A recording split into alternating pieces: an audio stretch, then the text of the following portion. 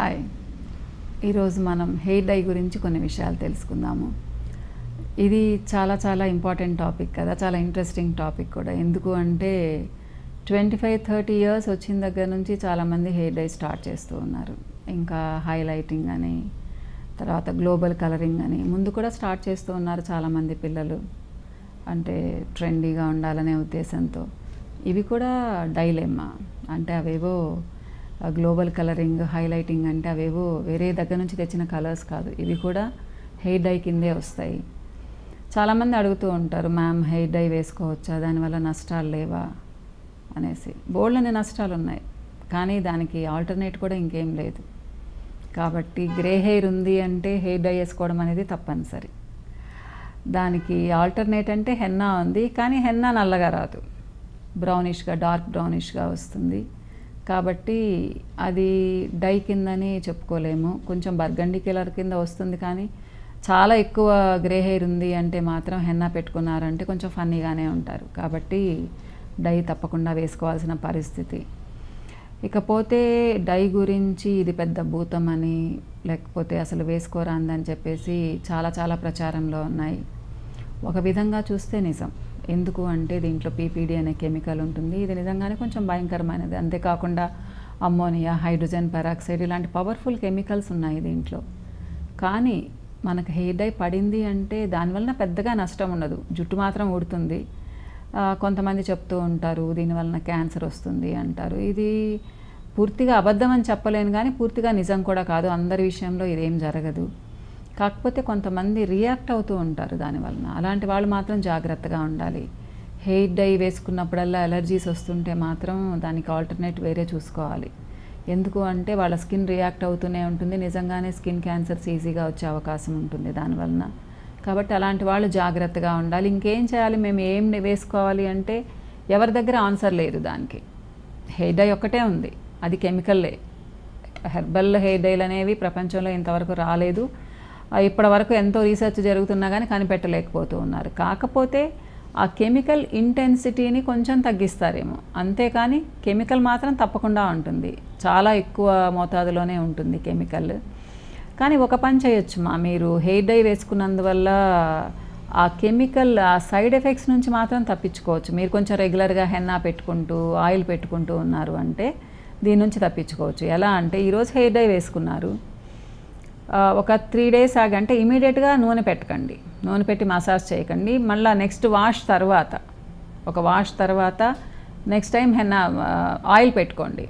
బాగా మంచిగా ఆయిల్ పెట్టుకోండి. కొంచెం గోరువెచ్చటి నూనె తలకంతా మసాజ్ చేసుకొని నైట్ అంతా ఉంచుకొని నెక్స్ట్ డే తలస్నానం చేయండి. ఆ కెమికల్ ఎఫెక్ట్ చాలా వరకు తగ్గుతుంది. అది ఏ ఆయిల్ అయినా కానివ్వండి మెడికేటెడ్ ఆయిల్ కానివ్వండి హెర్బల్ ఆయిల్ కానివ్వండి లేదా pure extra virgin coconut oil కానివ్వండి ఏదైనా కానివ్వండి మీరు తలకు అప్లై చేసి ఓవర్ నైట్ ఉంచుకొని నెక్స్ట్ డే తలస్నానం చేశారు అంటే మీకు ఆ కెమికల్ ఎఫెక్ట్ అనేది కొంచెం తగ్గుతుంది. ఇది కాకుండా హెన్నా పెట్టుకోవడం అనేది అద్భుతంగా పనిచేస్తుంది.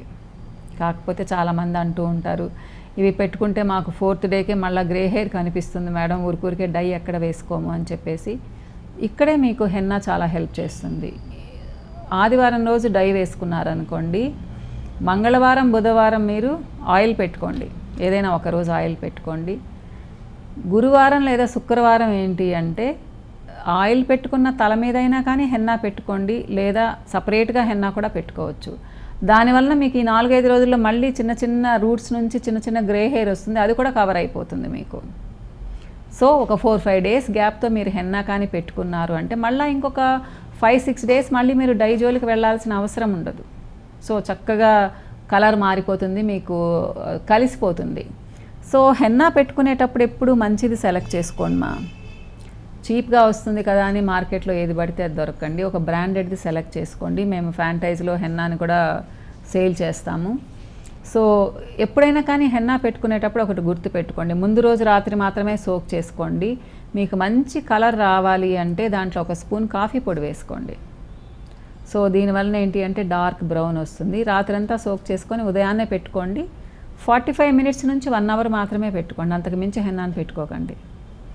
మీకు ఇంతసేపు పెట్టుకుంటే మీకు మీ హెయిర్ చాలా బౌన్సీగా అవుతుంది. తర్వాత మంచిగా విడివిడిగా సపరేట్గా అవుతుంది. తర్వాత లాట్ ఆఫ్ మాయిశ్చర్ కూడా ఇస్తుంది హెన్న. మీరు గంట నుంచి రెండు గంటల వరకు పెట్టుకున్నారు అంటే ఎక్కువసేపు మీ హెయిర్లో ఉండే మాయిశ్చర్ని కూడా తీసేస్తుంది హెన్న. సో ఇచ్చినట్టే ఇచ్చి తీసేసుకుంటుంది అనమాట కాబట్టి మరీ హెన్న డ్రై అయిపోయి లాగేటట్టు పెట్టుకోకండి సో ఇది కరెక్ట్గా హెన్నా పెట్టుకునే పద్ధతి. మీది కొంచెం డ్రైగా ఉంటే వన్ టూ స్పూన్స్ ఆయిల్ వేసుకోండి హెన్న కలిపిన దాంట్లో. సో అప్పుడు మీకు ఇంకా చాలా చక్కగా ఉంటుంది. ఆయిలీ హెయిర్ మీద పెట్టుకుంటే ఆయిల్ కలపాల్సిన అవసరం లేదు. ఒకవేళ మీరు ఆయిల్ పెట్టుకోకుండా ఉట్టి హెన్నాను పెట్టుకుంటుంటే వన్ టూ స్పూన్స్ మీరు ఆయిల్ కలుపుకోవచ్చు. సో ఇది మీకు చాలా మంచి మెడిసిన్ లాగా పనిచేస్తుంది. మీ స్కాల్ప్ పోర్స్ టైట్ అవుతాయి. హెయిర్కి స్ట్రెంగ్త్ని ఇస్తుంది. ఇలా చెప్పుకుంటూ పోతే చాలా అడ్వాంటేజెస్ మా హెన్నా గురించి కొన్ని ఎపిసోడ్స్లో మాట్లాడుకొని కూడా మాట్లాడుకున్నాం మనము. కాబట్టి హెన్నా అనేది అద్భుతంగా పనిచేస్తుంది హెయిర్ డై వేసుకునే వాళ్ళకి. ఇవి కాకుండా కొన్ని అరోమా జెల్స్ ఉన్నాయి కొన్ని అరోమా ఆయిల్స్ ఉన్నాయి. ఏవైనా కానీ మీరు ట్రై చేయొచ్చు. సో ఆయిల్ పెట్టుకుంటే డై పోతుంది లేదా హెన్నా పెట్టుకుంటే డై పోతుంది మళ్ళీ మళ్ళీ ఎవరు పెట్టుకుంటారని మీరు అసలు పెట్టుకోకుండా ఉంటే ఆ డై ఎఫెక్ట్ మీ స్కాల్ప్ మీద చాలా ఉంటుంది.